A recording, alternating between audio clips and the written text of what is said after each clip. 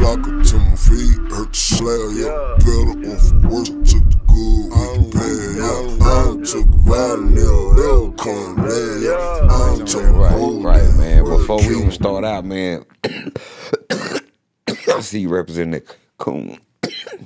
Man, R.I.P. Kuwn. Yeah, R.I.P. Kuwn, man. Me and Kuwn go back way back, man. Man, I see, man. Like, man, how you end up hooking up with Kuwn?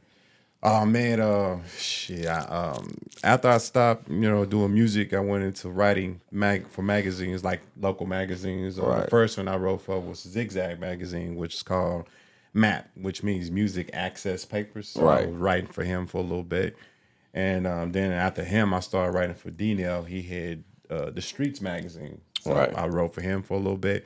And it was just kind of freelancing, not really getting paid or nothing like that. So I decided to just do it on my own, just write. But I wasn't writing for no magazine. I was just writing for myself and just posted it on. Back then, it was MySpace. Right. So I had me a little MySpace channel, just going, you know, looking at artists, and then all of a sudden, artists start coming to my page, and they was asking me like, you know, come out to the show and kind of check us out. So I'll go out and write about them on my, my page, and they'll remark, and and you know, I give them a good description of what I think they sound like, and Right. a lot of times it matches what they sound like. So as I did that, uh, I started going back into hip hop more because I was doing a lot of rock um, magazine, um, I guess you could say interviews, and um, I hooked up with Kundalini one time, uh, which is out there at a show. We was talking, and I was like, you know, I like what you're doing. I write, so I just want to just take photos and shit like that. So basically, got out there, took photos, and then me and him would just like he'll invite me out a lot more. I just came talk to our artists. Kind of met a lot of artists at the time, and um, me and him hooked up. And before he died, we were supposed to have been doing a bigger promotion on some other stuff, but you know, we, we never got it all together. It's Like that that same week, we had started talking about it, and then like that, I think it was a Wednesday, I believe. It was in the middle of the week. I got a, I called him, and his I think it was mom picked up the phone and said he passed away, and then I was like, dang, you know, I, that was it for that, you know what I mean? So I had to do something different, but that that's how I met him, man. Me and him, we had some big plans, but we we didn't get a chance to do it. Man, rest in peace, Kuwn. Nah, man. facts, man. It was a good Man, he, hey, yeah, he uh, he touched a lot of artists Yeah. You know what I'm saying? A lot of artists. You know Nah, what I'm for real, about? for real. Yeah, he was he was basically he was almost he was almost that screw here, you know what I'm saying? Really, you know what I'm saying? Yeah, you know what I'm saying? So like let's get to you, man. Let's let's let's let's start it out, man. So be icy. B I C You E. know, you know what I'm saying? Like where they come about. The name? hmm Oh man, um, it means something. So the B means being, the I means in, the C means control, the the Y means y'all, and the E means extremely. So being in control, y'all extremely. So whatever I do, I want to be in control of it extremely. That way, I have more control of what's going to happen. You know, what I mean? Right. So I always went by that. And I mean, it, it B I C E. That that all stands for just being in control, y'all extremely. So whatever you're doing, make sure you're in control of what you're doing. Don't let nobody dictate how you live your life. Facts. So facts. be in control of it. So that's that's that's how I came up with it, and it just stuck with it, and, and people shorten it to just Bi. So Right. like people who know me, like back in the Gap, they'll like, yo, Bi, what's up? You know what I mean? So Right. everybody know me that All about Bi. you know what I'm saying? I feel it. So where you from, man? Uh, originally, uh, I started out, man. I was born in Terrell, Texas. To be honest, uh, we- we, moved here when I was like uh, five, five years old.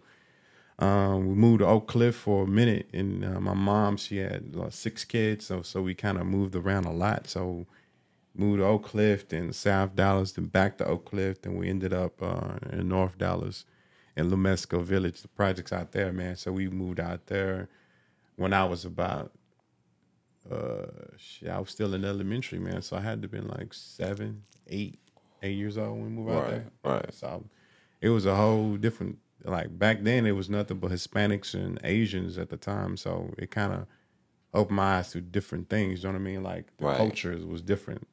So, but as as time progressed, man, a lot of the, the Asians moved out first, and then the Mexicans moved out first, and then it was nothing but black folks at that time. Right, right. So what it was like living amongst the Asians and the Mexicans at that time. Because Little Mexico, especially that area, and, you know, AP, Arlington Park, and all that, that was, you know, Maple Projects. That was that was always on the news, or it was always on. Uh, you remember the show Geraldo, Geraldo?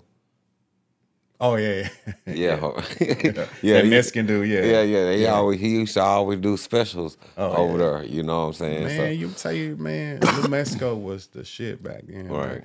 Because you know they had Cinco de Mayo and Pike Park was the shit, man. That's why I learned how to hoop a lot. You know what I mean? Um, it was fun, man. Because you know, like I said, I was I'm used to just country shit like soul food and all that Right. stuff. But when I got around a different uh, variety of people, I, it opened my perspective on different foods, different languages. I learned how to speak Spanish a little bit better.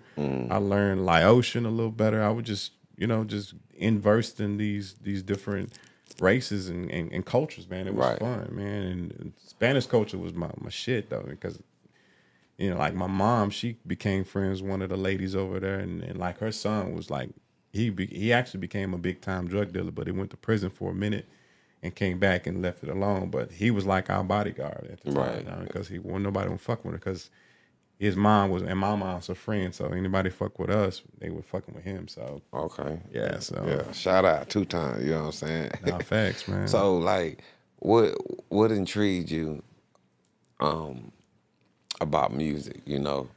Ah, shit, man. Um, to be honest, my I was more of a poet. I mean, I like to write poetry, and that's one of my favorite things to do. I actually got a book out on Amazon, to be exact. Uh, it's called Serendipity, Right. and uh, I just and the poetry from there.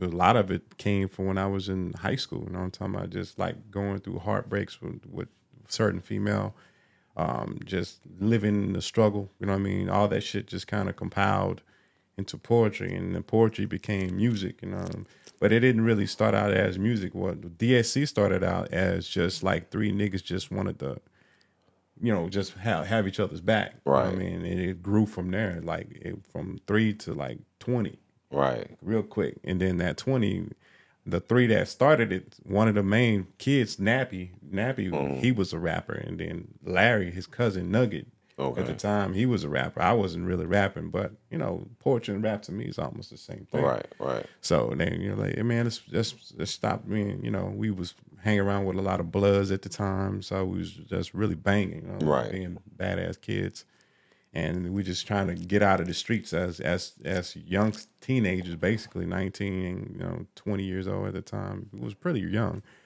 and um, we just pretty much got out the streets and started doing music. Man, my cousin he was a DJ, so he gave us a drum machine, so we would be in there making beats writing to them hoes, and all of a sudden, you know, we just had a little flow, you know what I mean? And Right. then Nap went off and What was took doing you shows, and we motherfuckers so did a show at Kimball one time. I could have walked the way I wanted to go. Man, I love you. Shit. I fucked up my high. Give me a light. A light?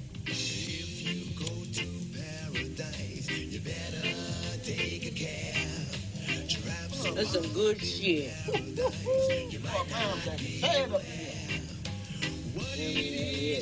Where you get that shit from, mom? I got it from Colombia, motherfucker.